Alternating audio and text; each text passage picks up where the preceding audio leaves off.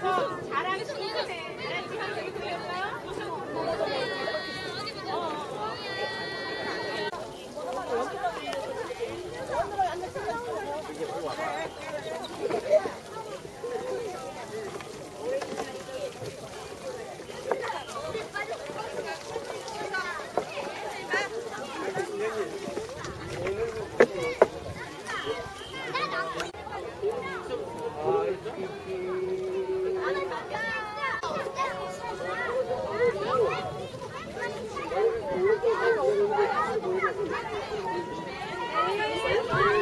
민수야 여기서 연어 여기서 여기가 이제 국장이가 국장이가 여기서 주원이 여기서 하나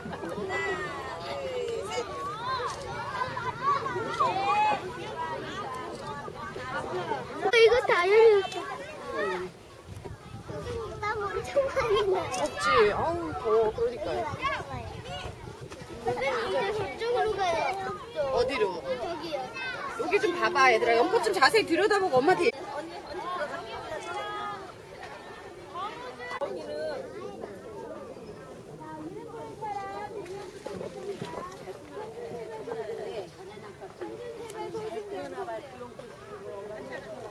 얘기-